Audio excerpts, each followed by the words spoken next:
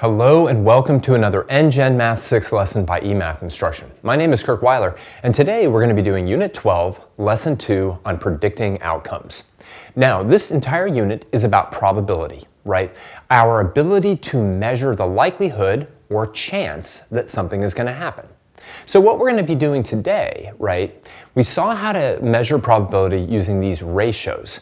We're now going to be using those ratios to try to predict how many times a particular thing happens. All right, so let's jump into that right away. Here we go. Probability is used to measure the chance that something will happen, often using fractions, i.e. ratios.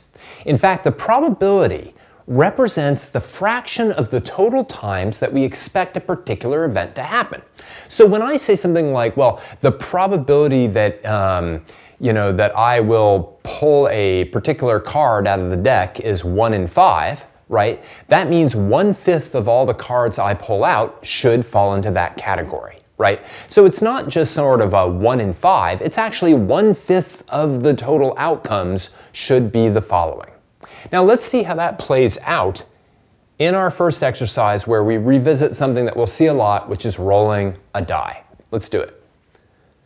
Will rolls a standard six-sided die shown to the right where the rolls 1, 2, 3, 4, 5, and 6 are equally likely outcomes. There's that phrase again, equally likely outcomes. Letter A. If Will rolls the die just once, what is the probability the number rolled will be greater than 4? Write as an unreduced fraction. All right, well, this is simple enough. Remember, we've got six equally likely outcomes. Six equally likely outcomes we want to know the probability that the number that Will rolls will be greater than 4, right? Greater than 4. So, you know, we've got these six equally likely outcomes, right?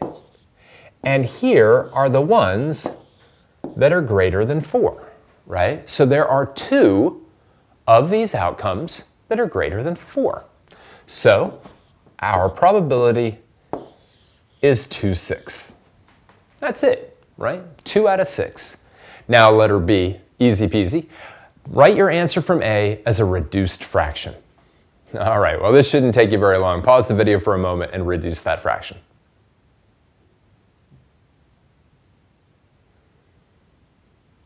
All right, easy enough. I could divide both numerator and denominator by 2, and I get a reduced fraction of 1 third.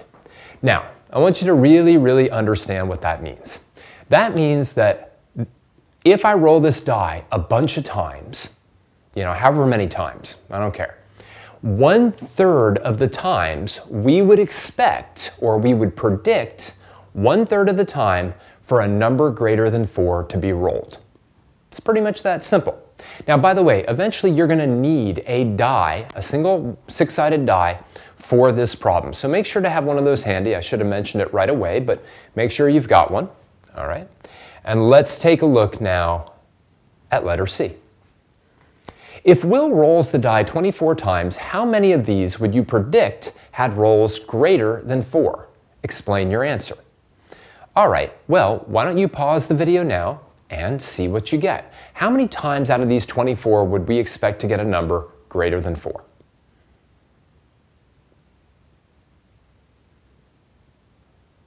Well, the idea, right, that we just found was one third of the time we should get a number greater than 4. Well, that means that if we roll the die 24 times, right, and one third of the time we should get a number greater than 4, then we should have 8 times, right? Explain your answer. One third of the times rolled we expect to get a number greater than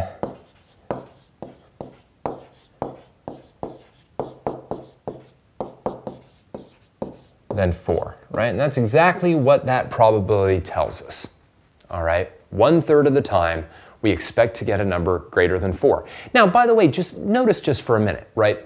If I took this 8 and this 24, right, and I formed a ratio with them, 8 24ths, then to no great surprise, that ratio equals one third, right? If I just simply reduced both the numerator and the denominator by a factor of eight, I would get back to my one third. And that's another way to do it. Another way to actually do this problem is to just say, well, all right, I mean, now if I had a total of 24 on the bottom, what would be my numerator? Oh, it would be 8. But at the end of the day, I really want you to understand that the probability is the fraction of the total times we expect something to happen. And we know how to find the fraction of a total just by multiplying the total by that fraction. Now, you might say, well, we might not actually get eight numbers that are greater than 4, right? Maybe, maybe we'd get less than that. Maybe all of them would be. Maybe all 24, right? Not likely, but maybe. Um, so I'd like you to experiment a little bit with this. And it's a real easy experiment, right? Um, letter D, let's take a look.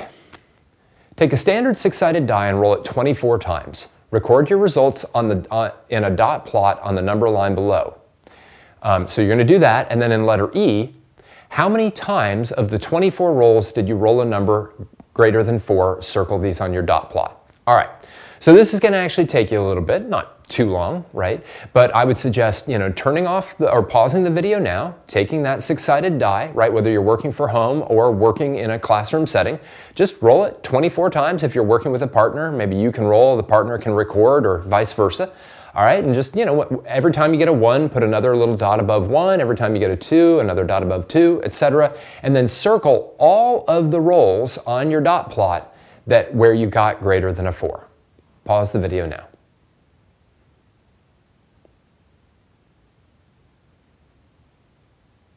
All right, we do a lot of simulation work in Math 7, all right. Math 6, very little, but a little bit right now. We'll do a little bit on our final day of probability. But as I always like to say, there's no way for me to know your results, right? They're kind of random. So I did this experiment myself. Whoop, that's not what I wanted to have happen. Let's try this again. Here we go. Still not. Man, all right, here we go. So I did this experiment myself, and I was just trying to move this out of the way.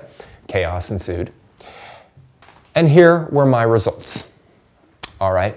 Now, by the way, in a perfect world, we would actually expect this to be what's called a uniform distribution. In other words, we'd expect to have the same number of dots above each one of those numbers. But there's chance, right? Chance means that certain things happen more than other things, right? And if I look at my dot plot at least, all the numbers that were greater than 4 are right there. And what did I have? I ended up rolling six of these things and three of these. All right, so I, I rolled six fives and I rolled three sixes. And letter F, and again, you'll have to answer this for yourself. Let's take a look. Are your results consistent with what you would expect based on C? Are they exact, close, or significantly different? Explain your choice. All right, so again, for you, right, you'll have to answer that for yourself, and we'll talk about it a little bit. Our prediction in C was that we should have had eight times when we rolled a number that was greater than four. I ended up having nine times. All right, so mine wasn't exact, right? And again, it would be, you could have it exact, you know, if you got exactly eight, awesome, then they were exactly the same. I would say close. I'm gonna put in parentheses for me, because we expected 8 and got 9. Now, why would you say, well, you know, significantly different? Well, significantly different, we're expecting 8, maybe you got 1. Maybe you got only 2. Maybe you got none at all. That would be strange. It would also be strange if you got 16 or 17 out of the 24 were way up here, right? That would start to make you wonder if there was something wrong with the die that you were using, okay? But if you got in the realm of seven, you know, six, seven, eight, nine, ten, that's all reasonable. Okay, outside of that, it starts to be different enough that you might wonder what's going on with the die. Let's keep going. All right. Now, when all outcomes are equally likely, we call this a uniform distribution, a uniform probability distribution. All the numbers on the dice are equally, or on the dice, are equally likely to be rolled, okay? A great example that comes up a lot in probability is tossing a coin. So let's take a look at that in exercise number two. When you toss a coin, there are two outcomes, heads, H, and tails, T. Letter A, if a coin is tossed once, what is the probability it lands on tails? All right, this should be pretty easy. Why don't you pause the video and see what you get.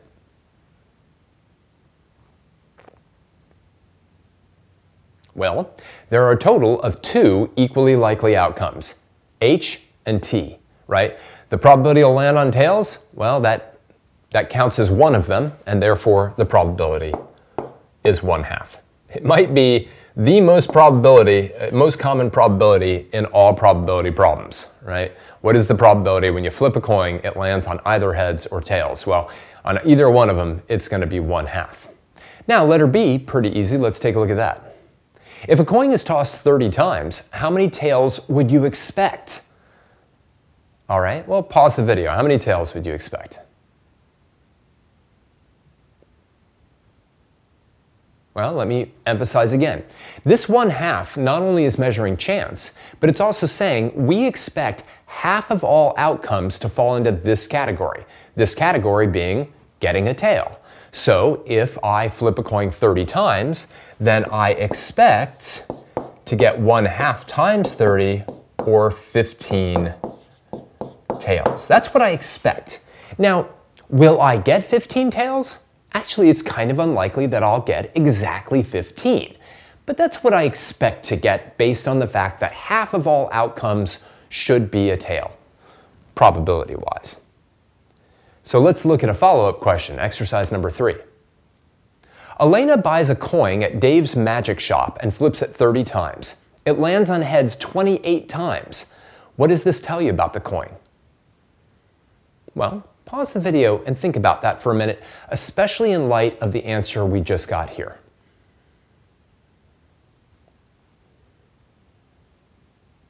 Well, in all likelihood, it is not a fair coin, all right? So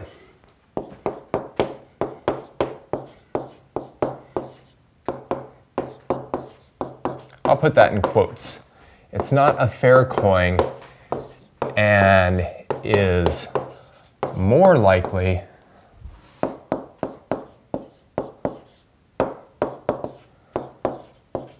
to land on heads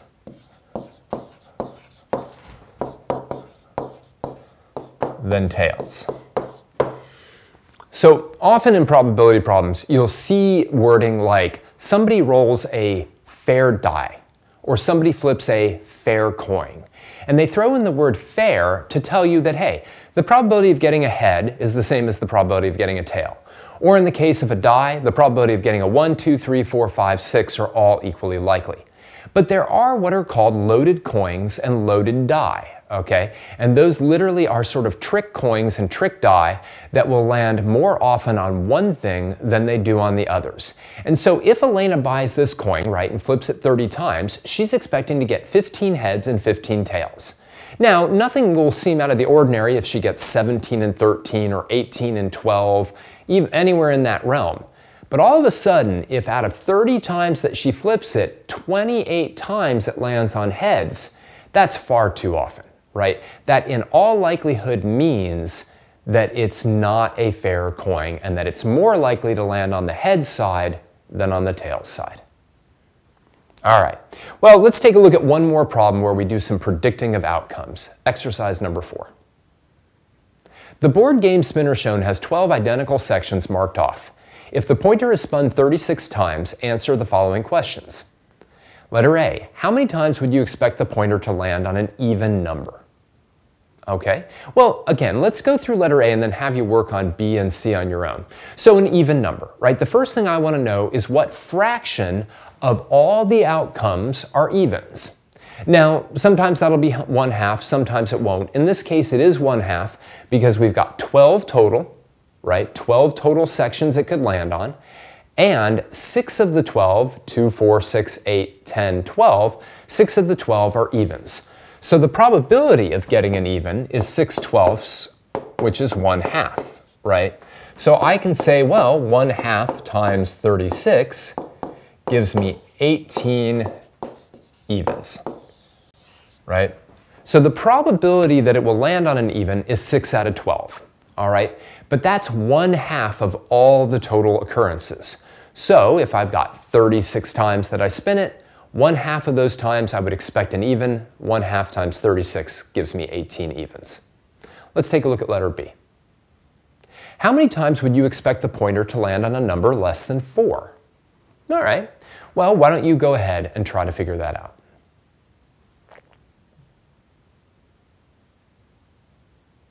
Well, how many of these numbers are less than 4? That's easy enough, right? The numbers 1, 2, 3.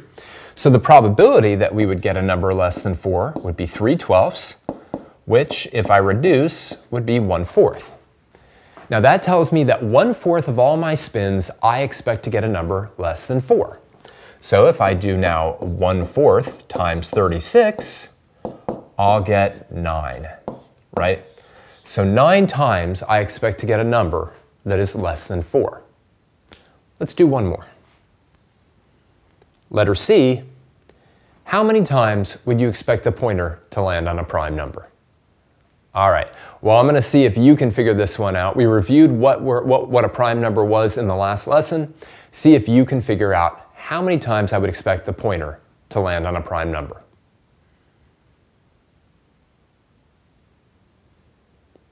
All right, well, let me circle the primes, right? Prime numbers are any number larger than 1 that are only divisible by themselves and the number 1. So there are five of those, 2, 3, 5, 7, and 11 are all prime numbers.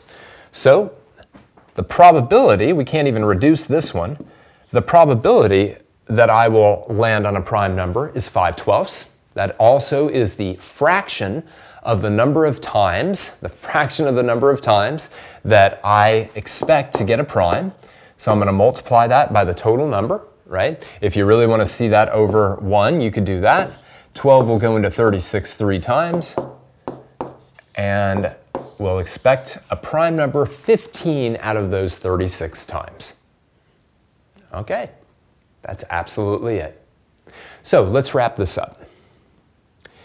Probability really can be thought of in two very similar and complementary ways. One way is it's simply a measurement of how likely something is to happen. So 5 out of 8 times, 7 out of 12 times, whatever. But it can also be thought of as the fraction of the total number of times we do something where a particular outcome arises. And that last exercise was a really good example of it, right? So I, I spin that thing 36 times. There's 5 twelfths 5 twelfths of the time, right? A fraction of 5 twelfths indicates how many times I'm going to get a prime number. So 5 twelfths times 36 gives me 15 times I expect to have a prime number. So you can use probabilities and how many total times we do something to calculate how many times we expect to have something to happen. Now, if our expectations don't meet reality, right? Think about that coin problem where the person bought the coin from the magic shop, then that probably tells us that there's something wrong with our probability model, right? Something is off. Our probability isn't correct in that case? And that's kind of an important consideration because sometimes you think you have one probability where you really have another one. All right. Well, we're going to obviously be working with more probability in this unit. For now, I just want to thank you for joining me for another NGen Math 6 lesson by eMath Instruction. My name is Kirk Weiler, and until next time, keep thinking and keep solving problems.